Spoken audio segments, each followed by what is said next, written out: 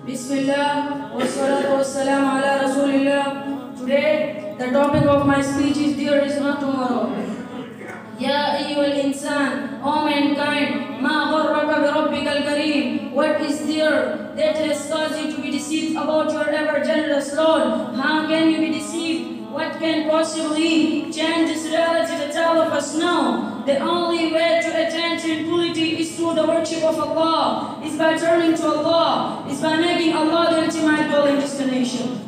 We all know this. Then why is it that we turn out from this path? O mankind, what is there that has caused you to be deceived about your Lord? Has not the time come, my dear brothers, for our heart to stop at the remembrance of Allah and at the Quran and at hearing about Allah and His Messenger, wasallam? Has not the time come? Turn our heart to Allah and become better Muslims. My dear brothers, how many khutbahs will it take? How many lectures must you be told? Don't you understand? Don't I understand? If you don't change now, if I don't change now, this is a blood from shaitan never to change.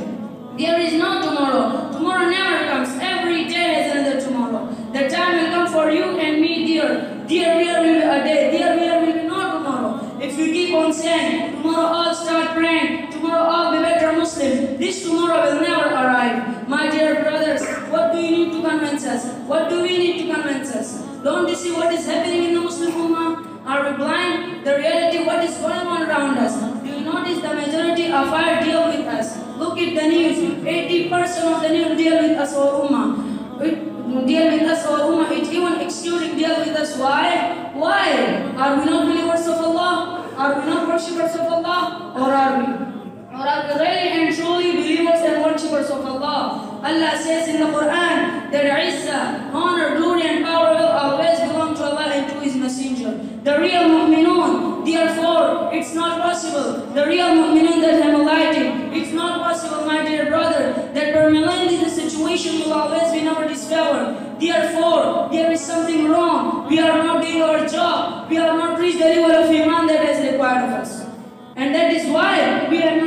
not reached the level of Iman that is required of us.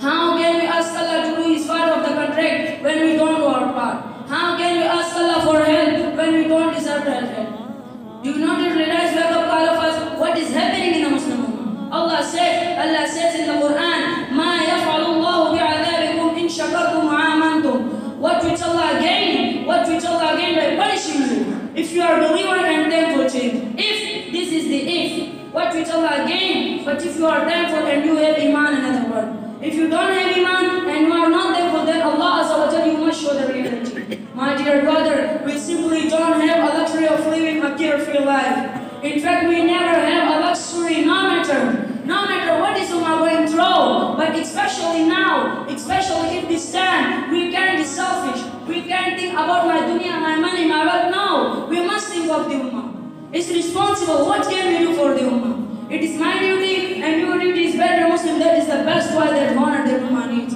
Reflect now for the sake of your family and friends, for the sake of your Muslim Ummah, for the sake of your dunya and akhirah, for the sake of your Jannah and now, for the sake of your Allah Azza wa Jal. Each and every one of us has to change. Each and every one of us, his God must better himself. Now, not tomorrow. At this point of time, because there is no tomorrow.